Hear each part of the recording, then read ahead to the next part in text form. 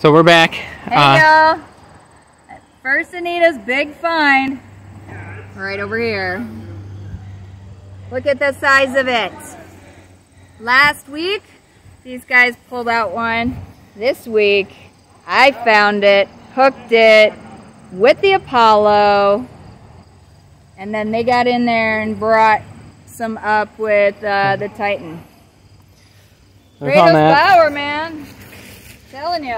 And we know there's some more stuff down there. We saw there a there's a little bit of oil, and we saw a tire. Yep. It's So down there, which we'll go for next. there, I was hooking But, uh, that as well. Rusty had came over to help pull up pull up the ladder. Yep. Rusty Wearing the Rusty? Assist. Plate assist. Wearing the cool uh, the cool shirt.